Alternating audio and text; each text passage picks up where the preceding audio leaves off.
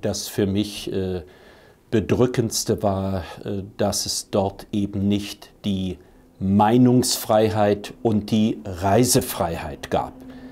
Äh, wir haben uns familiär über alle Themen sehr offen ausgetauscht, haben aber immer darauf geachtet, dass nicht die Kinder der Verwandten dabei waren, damit nicht die Gefahr gegeben war, dass sie am nächsten Tag im Kindergarten, in der Schule, wo auch immer eine Äußerung tätigen, die dann unsere Verwandten in die Pedrouille gebracht hätten. Von daher war es fantastisch, sich zu treffen, trotzdem bedrückend, dass man auf all diese Dinge achten musste.